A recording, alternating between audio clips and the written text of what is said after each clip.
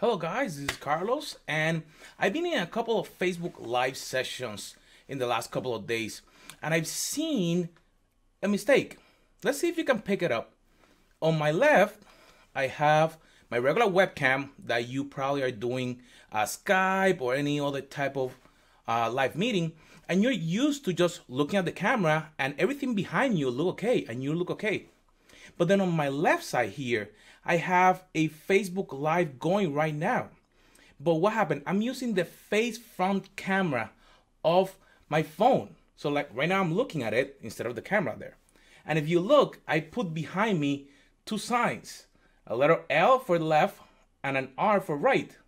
And you see that on the Facebook Live, they appear opposite.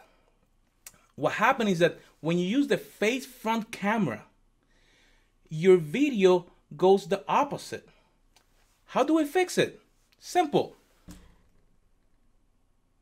Switch the camera.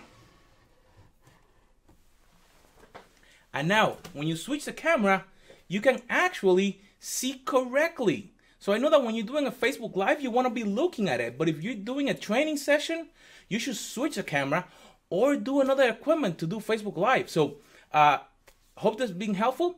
And if you have any questions, send me a message. Have a good day.